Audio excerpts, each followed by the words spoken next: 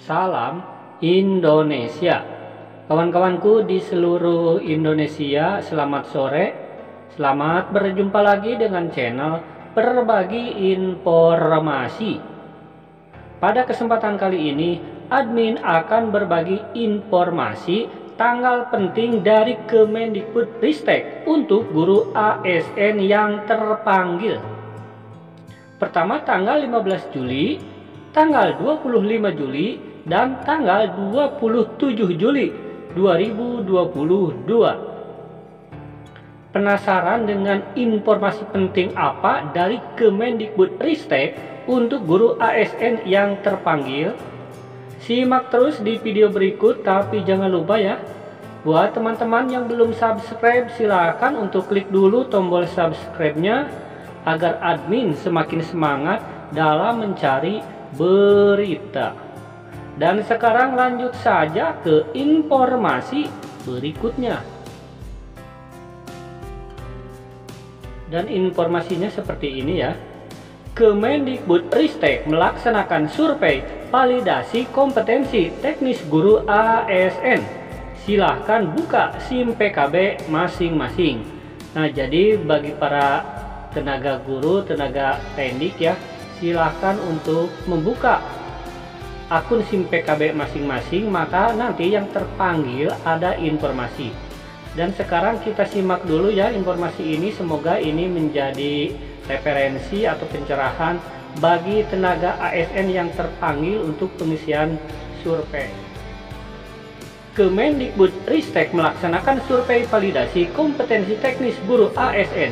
Silahkan buka SIM PKB masing-masing. Nah ini pengumumannya seperti ini ya. Pertanggal 12 Juli 2022, Direktorat Jenderal Guru dan Tenaga Kependidikan mengirimkan surat kepada Kepala Dinas Pendidikan Provinsi dan Kabupaten hal pemberitahuan pelaksanaan survei validasi kompetensi teknis guru ASN. Dalam surat tersebut disampaikan beberapa hal sebagai berikut.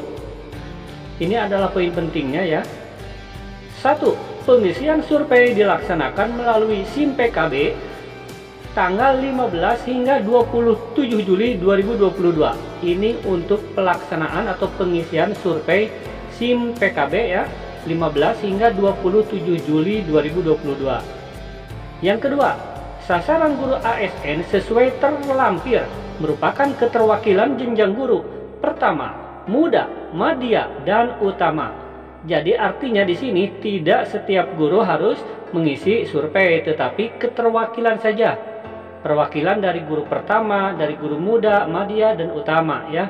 Baik PNS maupun PPPK, mereka yang terpanggil saja yang mengisi survei. 3. Dinas Pendidikan Provinsi, Kabupaten Kota diharapkan untuk menginformasikan dan memastikan guru ASN di wilayahnya sesuai daftar terlampir untuk mengisi survei.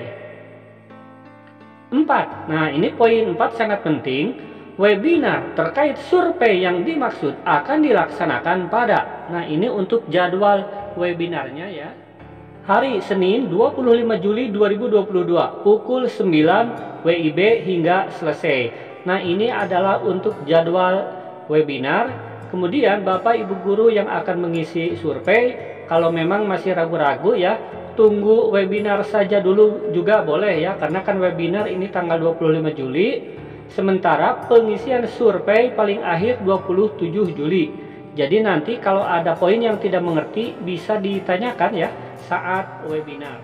Dan sekarang kita lihat ya ini pengumumannya seperti ini Kementerian Pendidikan Kebudayaan Riset dan Teknologi Direktorat Jenderal Guru dan Tenaga Kependidikan. Di sini tertanggal 12 Juli 2022. Kemudian admin ringkas saja perihal pemberitahuan pelaksanaan survei validasi kompetensi teknis guru ASN. Yang terhormat Kepala Dinas Pendidikan Provinsi, Kabupaten Kota di seluruh Indonesia. Jadi ini berlaku untuk umum ya di seluruh Indonesia. Makanya ibu-ibu yang terpanggil, bapak-bapak guru yang terpanggil siap-siap ya. Jangan sampai tidak mengisi survei. Admin bacakan. Dengan hormat, dalam rangka mendukung pelaksanaan kebijakan Merdeka Belajar, khususnya berkaitan dengan pengembangan standar kompetensi teknis bagi guru ASN, Kementerian Pendidikan Kebudayaan Riset dan Teknologi melalui Direktorat Kepala Sekolah, Pengawas Sekolah, dan Tenaga Kependidikan, Direktorat Jenderal Guru dan Tenaga Kependidikan akan melakukan validasi terhadap rancangan kompetensi teknis yang telah disusun melalui pelaksanaan survei secara daring bagi guru ASN sesuai data terlampir. Nanti di bawah ada daftar guru ASN yang harus mengisi survei. Survei ini bertujuan untuk mengumpulkan data untuk uji validitas standar kompetensi teknis guru ASN.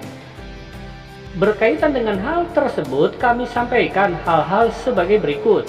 Yang pertama, ini adalah poin pentingnya ya. Pengisian survei dilaksanakan melalui aplikasi SIM PKB mulai tanggal 15 hingga 27 Juli 2022. Jadi ini mengisinya di SIM PKB Bapak Ibu guru masing-masing. Yang kedua, sasaran guru ASN sesuai daftar terlampir merupakan sampling keterwakilan jenjang guru pertama muda, media, dan utama. Nah, jadi yang mengisi survei ini hanyalah sebagian atau untuk contoh saja merupakan perwakilan jenjang guru pertama, muda, media, dan utama ya. Poin 3, Dinas Pendidikan Provinsi Kabupaten Kota diharapkan untuk menginformasikan dan memastikan para guru ASN di wilayahnya sesuai terdaftar dan terlampir untuk mengisi survei ini. Untuk poin 4 ini sangat penting, webinar terkait survei dimaksud akan dilaksanakan pada hari Senin 25 Juli 2022 pukul 9 WIB hingga dengan selesai kemudian ini untuk tautan webinar dan registrasi Bapak Ibu Guru tinggal klik saja ya ini di sini. Ini adalah siaran langsung di kanal YouTube-nya Kepala Sekolah, Pengawas Sekolah dan Tendik jadi di sana nanti kita akan ada acara tanya jawab seputar survei ya. Andai Bapak Ibu Guru ada yang kurang mengerti. Di sini disebutkan juga ya panduan survei. Jadi di sini ada instrumen validasi standar kompetensi teknis untuk guru ASN. Kemudian di sini juga ada petunjuk umum pelaksanaan survei. Nah, admin kasih contoh di sini poin satu ya. Bapak Ibu akan mengisi survei dalam empat bagian. Satu bagian urean tugas guru dan tiga bagian kompetensi guru. Kemudian poin 2 berjumlah 81 butir dan masing-masing butir item memiliki tiga pertanyaan yang harus diisi. Kemudian poin 3 durasi pengerjaan survei secara keseluruhan 1 hingga 1,5 jam tergantung dari kecepatan Bapak Ibu mengisi survei. Jadi waktunya maksimal 1,5 jam ya, 1 jam setengah. Kemudian rentang pengisian adalah tanggal 15 hingga 27 Juli 2022 maksimal 27 Juli ya Bapak Ibu jangan sampai terlewat kemudian nomor 5 seluruh item pertanyaan survei harus terisi dan pastikan tidak ada yang terlewat. Selamat mengerjakan survei ini terima kasih. Nah di ini adalah akun SIM PKB ya silakan saja dibuka akun SIM PKB nya ini nanti ada pemberitahuan di dashboard Bapak Ibu yang terpanggil untuk mengisi survei. Kemudian